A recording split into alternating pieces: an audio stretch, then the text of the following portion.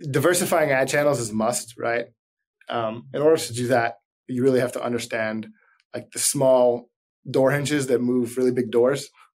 And in order to do that, you need to have very clean, crispy data and know how to how to analyze it.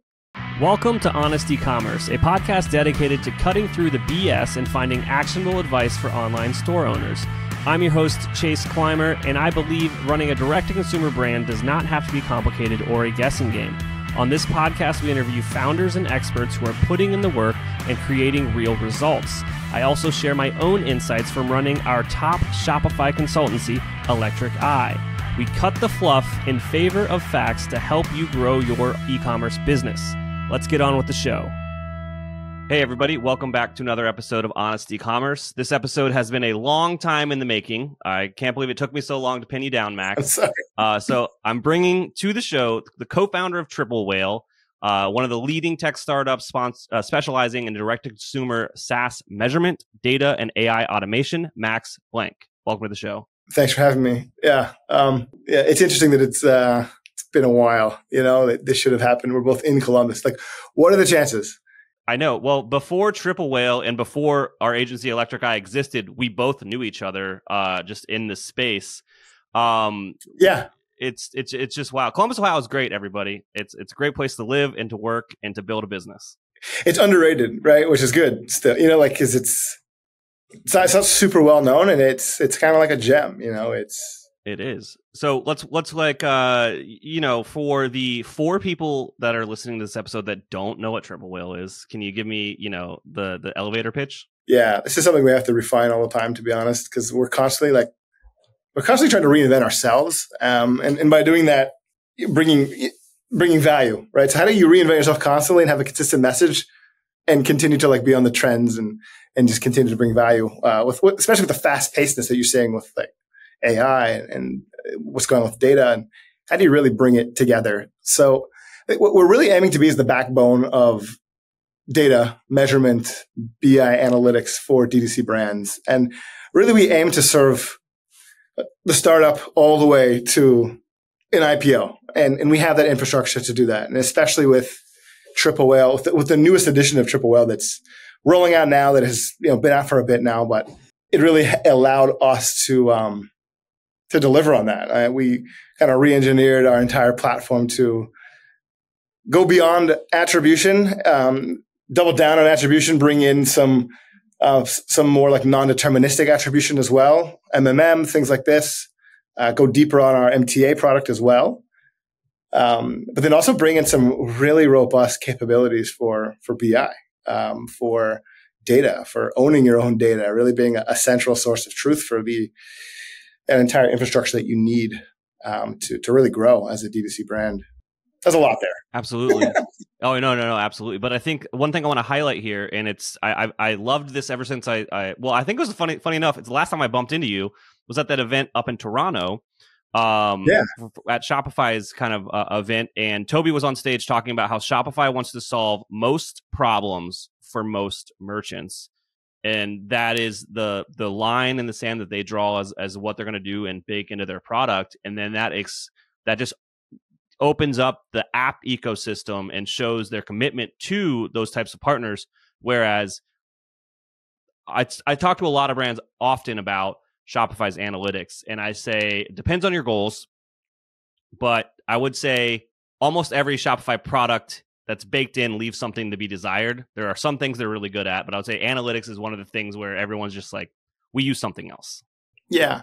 I, I think as, as the business grows and scales, like needs become a bit more bespoke too, right? It's hard to kind of have it out of the box. Um, and so Shopify leaves that door open for guys like like Triple Whale, right? For for us. And so, you know, also the unifying of, of multiple data sets, whether coming from different integrations you may have, you know, as, as businesses grow, and we see this, and we, we, you know, we have a lot of, a lot of, a lot of um, data to kind of like empower us to understand the life cycles of brands.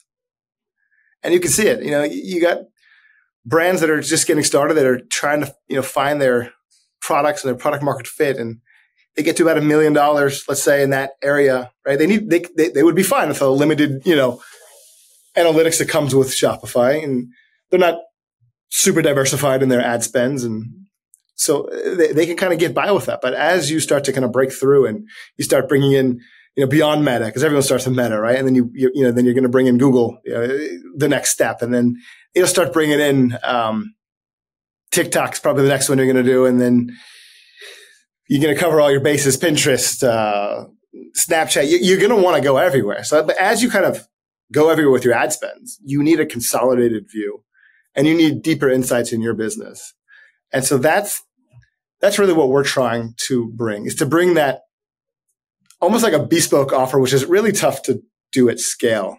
But we we when we re-engineered the platform, we the reason why we um, sought out to kind of double down on BI is that as our customers grew, like they kept asking us for things we didn't have. Like we had very limited views on data, and they're like, "Well, I could really love to see it like this," and you know, I have a subscription box, and we have like unique intervals of renewal. Like maybe you could buy it once a quarter or once a year or twice a, or twice a year, not once a year, but twice a year. And, and so our out of the box solution just didn't have that. And in order to really get more bespoke and custom, you have to stand up you know, a robust sort of like data platform. And our goal with our, with our new platform is to, is to be that for you, whether you know how to manipulate data or architect data on your own, or if you need us to do it for you, like there, we're, we're basically able to provide data insights in, in, uh, on your business for any any type of e-commerce business. Absolutely. And obviously you guys are doing some amazing things these days, but taking you back to the humble beginnings. Let's talk about the, the the you know, the idea, the the why this exists. Yeah. I'd say about 8 years ago is when I really got into e-commerce. Um and before that, like I always was dabbling in some type of entrepreneurship going on, right? I caught the entrepreneurship bug my last year of college. And halfway through that, I'm like, why did I just pay for five years of college or four and a half years of college? now I realize that, you know, with the internet, you have access to labor and, you know, different things that you can build and sell. And I'm like, whoa, you know, the whole world up and up. So I was really out of the end of college, I, I, got heavy into entrepreneurship and did a few different startups and things like that. It wasn't until about eight years ago that I came across um, a group of people that wanted me to build them websites because I had a bit of a digital, like sort of, you know, agency going on. Um, and the, the, these, uh, this network that I had kind of developed, they were all Amazon sellers. And they wanted, they all had like nightmare experiences of like only being on Amazon and then kind of not having control of their own destiny in a sense, right? You could be shut down or deranked and things like that. And they wanted to get into the Shopify game, but it's an entirely different game, right? Uh, and so they, they brought me on to build the websites to, to help them start that. And so through that journey of working with them, they already had an Amazon business.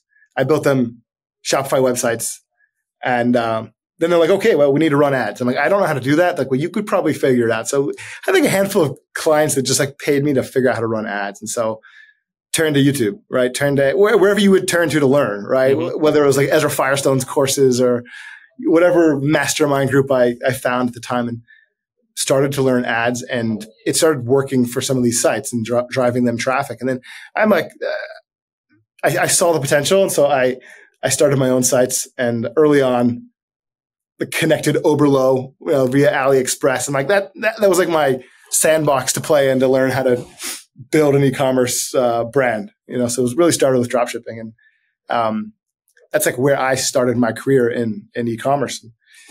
Built a few stores, um, one of which was like a boutique for women's jewelry and handbags. And I remember that one. Had no idea really what I was doing at all, and just testing. Like you would you would set up like you know five new products a day based on trends on the internet. You'd have an out, yeah, I had like a team over, you know, overseas that would set up the ads for me and I would just watch them and you'd go through five or ten, five or 10 a day with a small budget. Back in the day, you could make some dents and then one would like catch, you know? And so that, that first store was like my experience setting up that system, understanding D2C, understanding direct response. Um, that, that store ended up scaling very quickly. Like so up until September of 2016, I had done like a hundred grand on that store from that entire year. And then I had one ad that hit that October. So Q4, right? It went to $500,000, right? And then it went to 1.2 during November and it was all drop shipped from Oberlo and AliExpress and whatever. It was a nightmare. I had to jump on a plane to China and like work out stuff with my suppliers and throw stuff on a speedboat and get it here in time for uh, the holiday season. Um, that was a, a, fun experience. Um, so that that was my first run at getting into e-commerce, and that was a store that lasted like two years. I ended up selling it at a loss because I got into all sorts of like debt trying to manage bringing inventory over to uh, warehouse it here, stop like actually drop shipping and, control the customer experience and keep customers long term. You can't really do that by drop shipping uh, in that way back then. Um, ended up selling that, and then I started another one shortly after. My wife actually had an idea of these braids, pre braided hair braids um, that were like sort of trendy, and so we started a store and um, women's hair accessories is my wife's idea. I had no idea, and, and, it ended up working. It ended up scaling pretty pretty rapidly. Um, the, the original target audience is a funny story for people that appreciate like direct response, um, like direct response and, and just ad buying. The, the original target of that store was actually uh, Orthodox Jewish women who they cover their hair, and so we we found a website that sold accessories and fashion to that cohort. It's a very small cohort, like in New York, right? Um, but we had our pixel on our site. So that, that site would actually send us traffic. It wasn't like a marketplace. We bought ads daily and I just retargeted them on Facebook and Instagram, but I loaded up the pixel. And at some point, my wife was like, I'm seeing these things everywhere. Let's try to go broad. So we took that pixel data from that site, from that cohort, made it all look like audiences. And, you know, I think year one, we did about 50,000. Year two, we did about two and a half million. And it was from that original cohort of data. Um, but so during this experience, I'm scaling this. You know, we set up influencer programs. We are sourcing, you know, uh, UGC for our ads. Uh, set up manufacturing, was not drop shipping, did the whole thing, had packaging, did the whole thing right. You know, um, running that whole, you know, had success, had customer success, had uh, procurement, the whole nine yards. And every good, you know, uh, I think owner operator has their credit card game, their credit card points game worked out, right? Um, every dollar you're spending, you're getting one or two points, which one, whichever one you have. So I would like to travel with my family, right? I'd like to take my kids, take my wife on during the holiday seasons or wherever we would go. But when you're, when you're abroad and you're traveling around, like you can't open up all your screens and see like where am I at with my ROAS, things like that. so I really just wanted a concise sort of dashboard in my pocket where I can like see the metrics that matter most, right? What's my ROAS? What's my spend right now? The Facebook mobile app for, for ads is like the worst experience. Oh, it was. Shopify doesn't have the whole story, right? So like this is where I'm like, I need to make an aggregated, like simple app. Like I just want to do that, you know? And um, that was really the inception of the of, uh, of Triple Whale. The idea was through that experience, and so I built it for. The idea was to build it for myself, and I always, you know, I'm entrepreneur, so I'm like, okay, I want to get this thing working. We'll try to make it a, business out of it at some point. Um, but I struggle with doing two things at once. So like, it was like all about timing for me. I'd say like in, in 2019, um, my co-founder AJ, he and I had known each other for a while already. We kind of stayed in touch. He was in Israel. I was over here in Ohio. Um, he was big into startups and tech, always, always into that. And whenever we talked, it was always about like tech and the future and, you know, AI and things like that. At some point in 2019, he was coming off of a startup. Um, he and his co-founder, Ivan, who's now, that's the three of us, right? Um, I was over in Israel. I, I met them in a, in a, coffee shop one one day, and I was telling them about e-commerce and it's working, it's amazing. And AJ's like, what, what, can we do? How can we work together? So I, I paid them to build this first version of Triple Whale, you know, um, and they got started. In the meantime, AJ needed a, needed a job essentially. Like, what's this next thing he's going to do? So he started working for me, apprenticing. Like, how do I run ads and teach him and train him? And we worked really well together. In 2019, he actually moved to Columbus with his family, and we worked full time on Madison Braids. It was he and I and our wives. We were running this brand together. Um, and then COVID hits and we hit a tear, right? Everyone did. COVID 2020 when they shut everything down and CPMs were super cheap, right? So we were able to scale Madison in that 12 year, that 12 month period of time. I think we scaled it to like $7 million was amazing, right? Like out of our garage essentially. And then fast forward a little bit, Triple Whale's on the side. They kind of built something, but we were focused on one thing at one time, which was e-commerce. Uh, but then when COVID ended essentially and everything opened back up, well, CPMs went through the roof. My AOV on Madison Braids was like 58 bucks. I, I couldn't support it anymore. It wasn't enough. So mm-hmm. I kind of had to take a pause and like re-engineer the business, maybe get some uh, other product in. At that point, I'm like, AJ, why don't you just run with triple, uh, with triple F full force? I took like a few months to refigure out Madison braids. He finished the product and got our first beta users on it. And then people just like essentially ripped it out of our hands and just wanted to use Triple Whale. Very quickly, we had about, we had hundreds of people using Triple Whale. Some not even paying because it was just like free, like just try it, you know, and then, and it, it very quickly just like blasted off. I dropped everything with Madison braids and jumped full time into Triple Whale. And AJ, Ivan, and I, we basically incorporated the company in like June of 2021, I think. Yeah. When was the when was that big iOS and like attribution hiccup? Probably six months later. Yeah. And so we were we all we had was like that summary page product that people I think love. And that was growing pretty wild. We we had raised our first round, like uh, four million bucks just off that with early adopters, um, some influencers, and then we, we, we raised a small seed round also from a, a very prestige um, fund out of out of Israel. That was awesome. But that was before we had the Pixel. That thing was blasting off, you know. But then came iOS 14.5. We had we started expanding the team on the engineering side. You know, first thing we did and grab some buddies to work for us, to run CS with us, like just people like our friends. You know, that's what you do when you first get started, right? And then we we started building this pixel because you know many reasons. Our clients were asking, what are we going to do in iOS 14.5? Like, what are we going to do as a company? What are they going to do as customers? We didn't really, we had a way to like see your aggregate numbers, but we couldn't get you like sort of the granularity on the campaign level you needed to understand what's going on.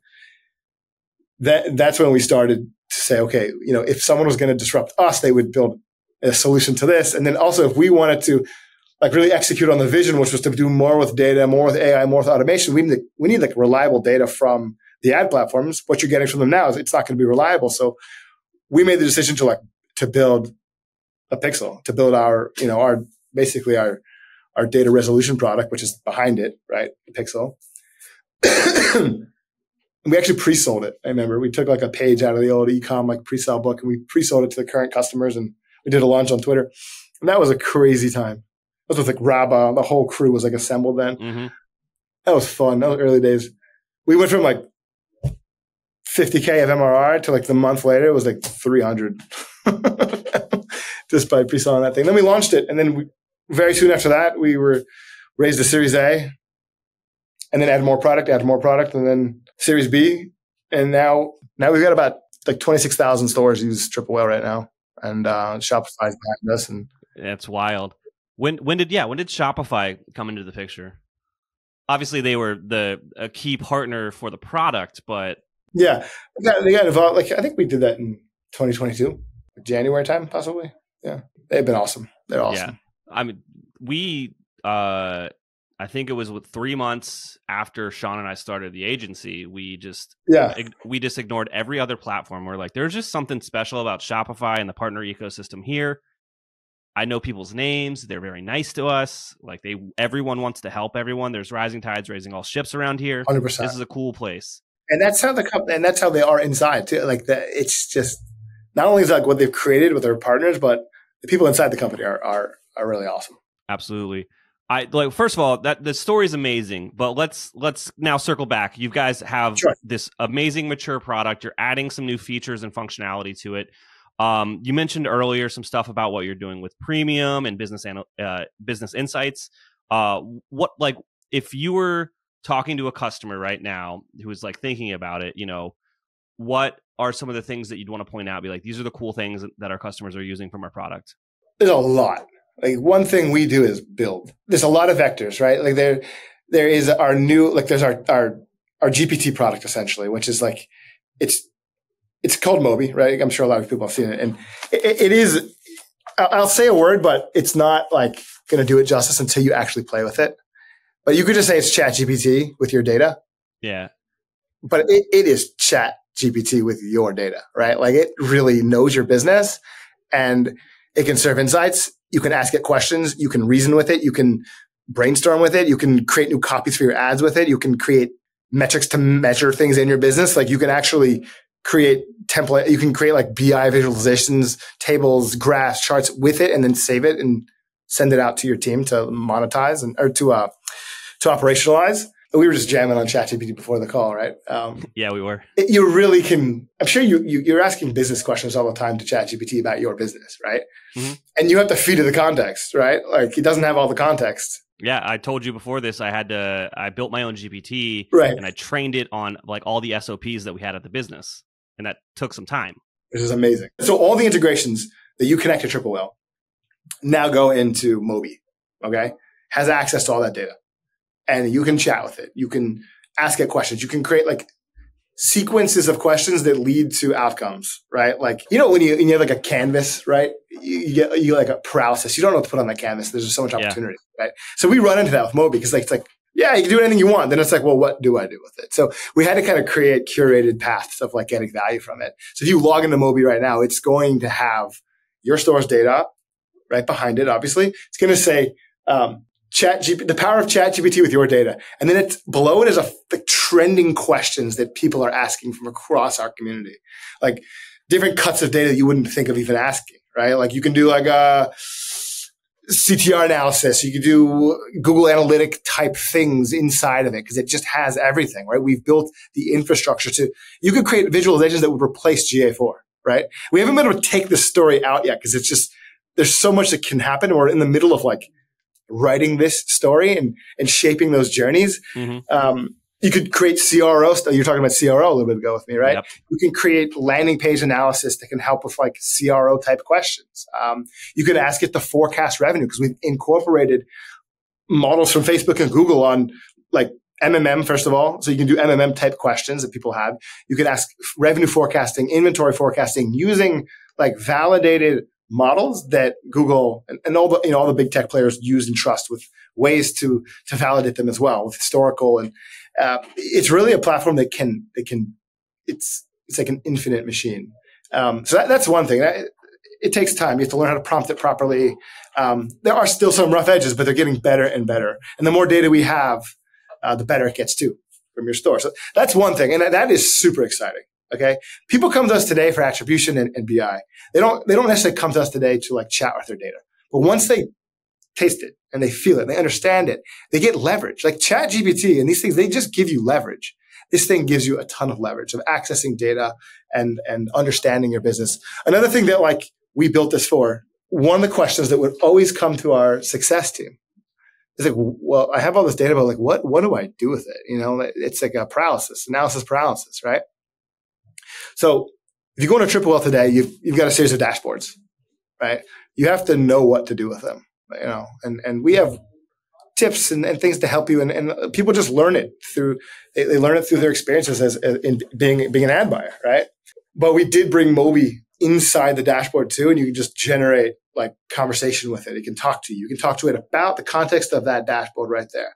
What's performing well? What's not? What should I watch? You know, if I look for X, Y, and Z in my ad performance, what should I look at right now? Right? Like if I, like when you're, when you're like in the ads manager, you're like, I'm to look back seven days. I'm to look back five days, three days. I'm to look at ROASs and CTRs and things like that. You can have it do that for you and serve those ads directly to you to look at and analyze.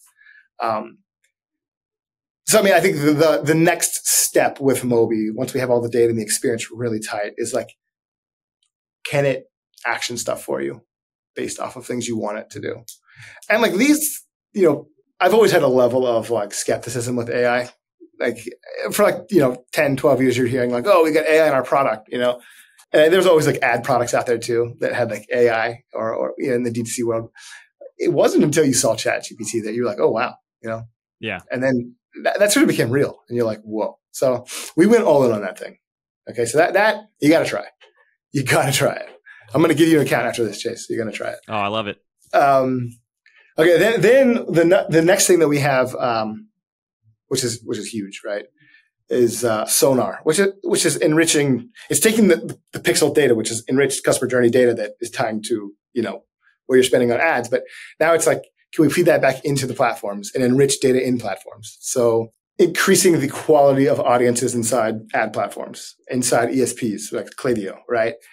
So that you can specifically, like I'd say for like Klaviyo, like we can enrich flow flow audiences. So you can make sure you're hitting more people that are already on your lists, but due to whatever, eh, maybe they logged in from another IP or they're using a different email address, but the same person, they've already opted in, you can, you have the opportunity to send them a message. So you know, there's there's a lot of providers out there, and we we have the best pixel and identity resolution product out there. So we just we we built that. And now that for sure is like a no brainer. You got to get. You can make incremental new revenue day one, and then there's just added business intelligence. We have a whole template library that is uh, you can flip on. You can like go through it and add it to your plan, and you can see it.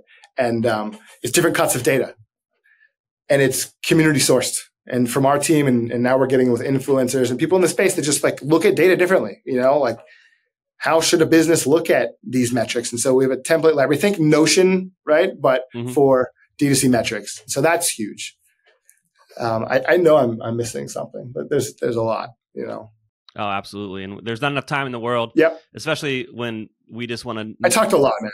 no, no, no. It's perfectly fine. And I know this episode, people are going to love it. And I'll have you back on next year and we'll talk about some new, new cool things. But I will give you like parting words. Is there anything I didn't ask you about or something that you want to make sure you mention before we go today?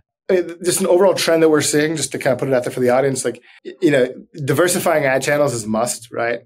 Um, in order to do that, you really have to understand like the small door hinges that move really big doors. And in order to do that, you need to have very clean, crispy data and know how to how to analyze it.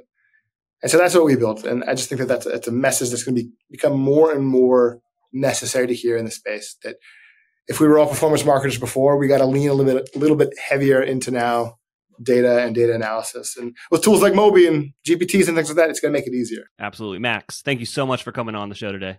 Thanks for having me. I'm glad we got to do it. We can't thank our guests enough for coming on the show and sharing their knowledge and journey with us. We've got a lot to think about and potentially add into our own businesses. You can find all the links in the show notes. You can subscribe to the newsletter at honestecommerce.co to get each episode delivered right into your inbox. If you're enjoying this content, consider leaving a review on iTunes. That really helps us out.